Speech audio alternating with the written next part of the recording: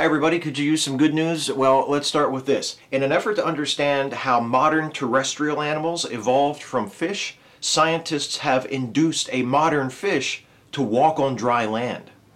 That fish is Polypterus senegalis, also known as the Senegal bichir or the dragonfish.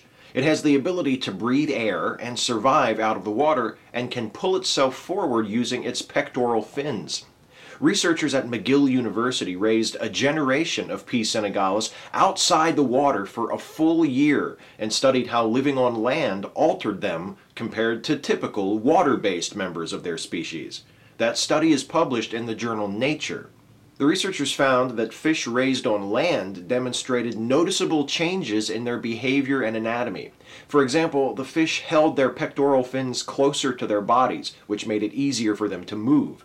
Their skeletons also changed, again when compared with water-based fish of their species, elongating and developing stronger attachments for those pectoral fins. They also lifted their heads higher.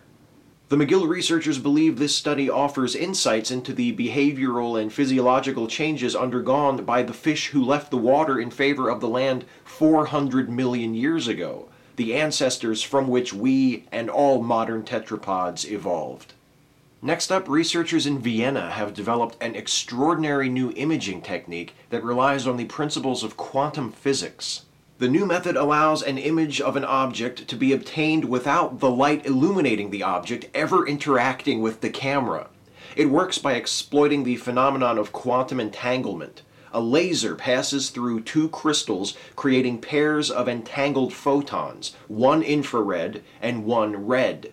Only the infrared photons are allowed to interact with the object, and the camera used to make the image can only see the red photons, which never interacted with the object. And yet, when an object is placed between the two crystals, an image emerges.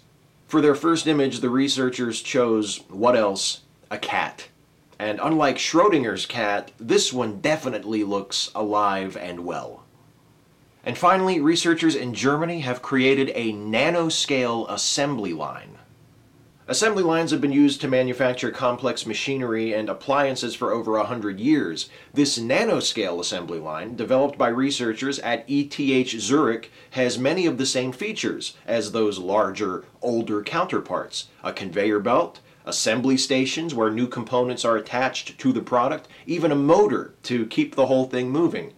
But instead of making automobiles or washing machines, this assembly line manufactures molecules. The conveyor belt is a carpet of microtubules, the motor is the ATP-powered protein kinesin, and the products are complex molecules assembled one piece at a time as they move down the line. The researchers stress that at this point this isn't much more than a proof of concept. Practical applications are still a way off. But when the research reaches that point, those practical applications could include DNA modification and assembly of nanotechnology. A modern fish that walks on land helps us to learn about our earliest terrestrial ancestors.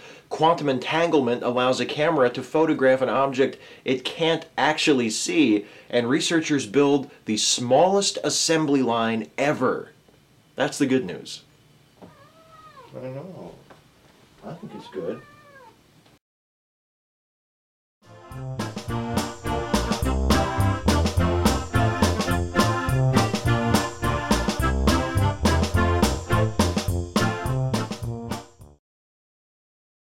Are you up for a hundred more of these?